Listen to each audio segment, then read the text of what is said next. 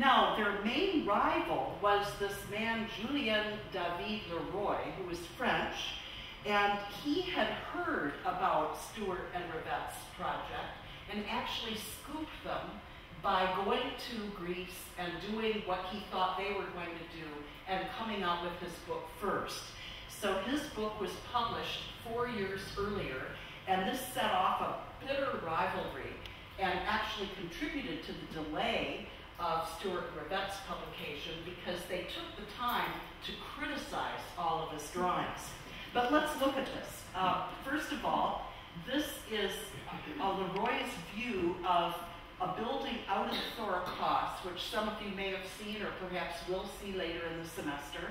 Uh, it, we now know it's a double-sided stoa, very interesting building.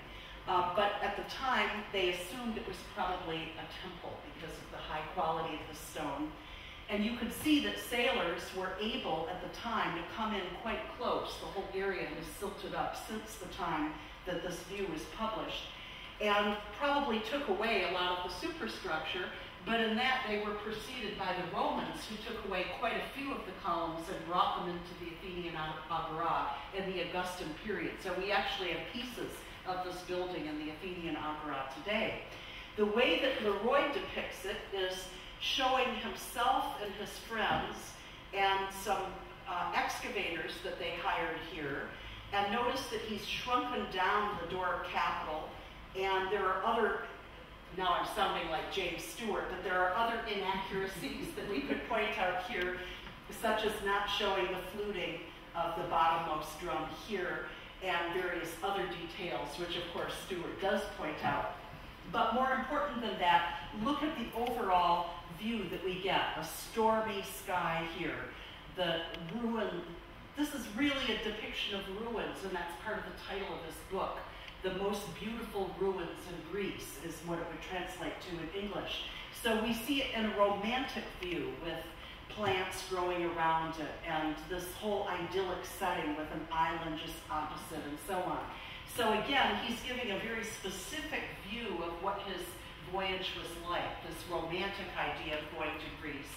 And actually, because he does include other drawings that are more strictly measured and so on, one can say that Leroy, in effect, set up a view of studying architecture that included a social component that was actually very important. So he, he did make some important contributions despite the criticisms that we could advance about his work otherwise.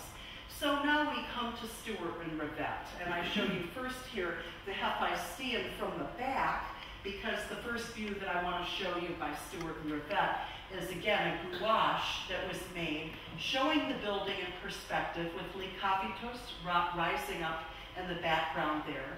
And like Leroy, he shows some excavations in the foreground here, but the building itself is done uh, in a fairly accurate way.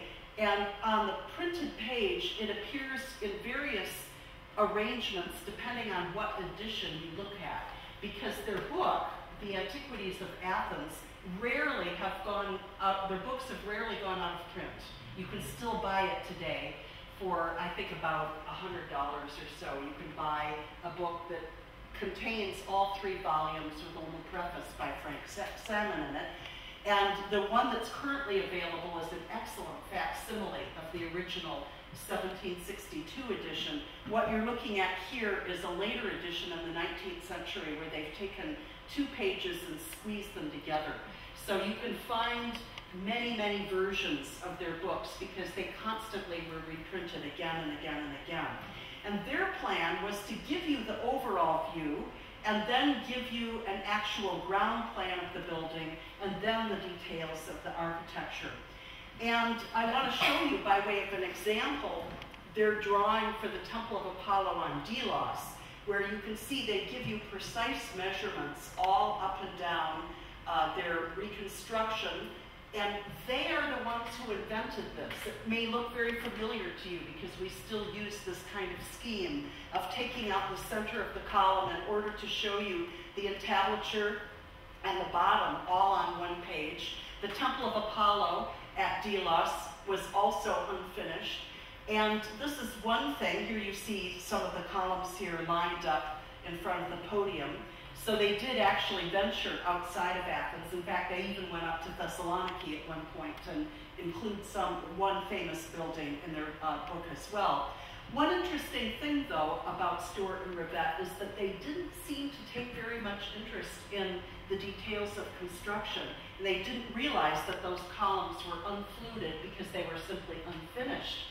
And what happened is much later, when their books became popular, people use that nonetheless as a paradigm. And so there are uh, mansions and elegant buildings and churches, both in Ireland and England, that have unfluted columns. And it was because it was thought at the time of simply being an alternative style, not realizing at the time that really it's a mark of the, the, the temple or the original building being unfinished. Now, I wanted to tell you a little bit about how they actually did their work. Uh, we know that they used uh, folding bronze or brass, as it's usually referred to, ruler that allowed them to take measurements to the hundredth of an inch. And I show you here an actual example of one that dates to about 1740. So this is the kind that they might have taken. This is not the actual one that they took with them. Made by Thomas Heath, who was an instrument maker of precision scientific instruments in London. And I also show you the type of, uh, of drawing and drafting kit of the sort that they might have used.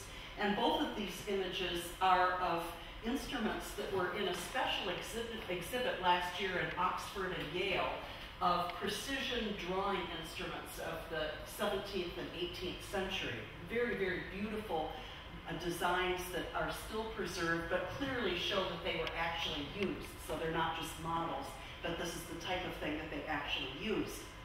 Now, um, one of my favorite buildings that they worked on is the Temple on the Ilissus River. In fact, the first article I ever published when I was a graduate student was on this lost temple.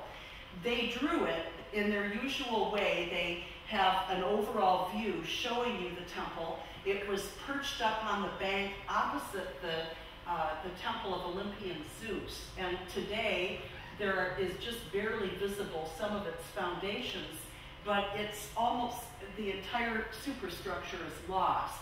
Some of the frieze has been identified and recovered, but mostly we have to study this temple through drawings. And uh, I just want to point out to you that it, it was tetrastyle, amphiprostyle, and so it was very similar to the Temple of Athena Nike, except that the cella building was much longer, as you can see here in its form having been turned into a church where they knocked out the, the front columns here, they knocked a door into the back and built an apse out here and a cupola up above here. So this abandoned church then apparently was sold for scrap to be burnt in a lime kiln uh, sometime around 1780. So we can track the history of the whole building. And there are two stories that are given one is that it was sold by the Turkish voivode to a Greek priest who then used it to build a bridge. The other one is that it was simply burnt up for lime.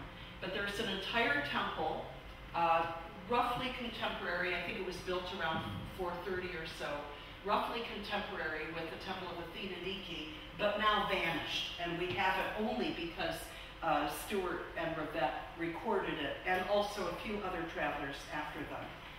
And here you see their drawing of the facade, and one of the parts I want to bring to your attention is their, the elegant volutes of the Ionic order and the careful way that they measured out all of this, again, to give a very, very specific and precise, detailed uh, rendering of that. And I show you here a page from one of James Stuart's notebooks showing the notes that he took on the Erechtheian capitals.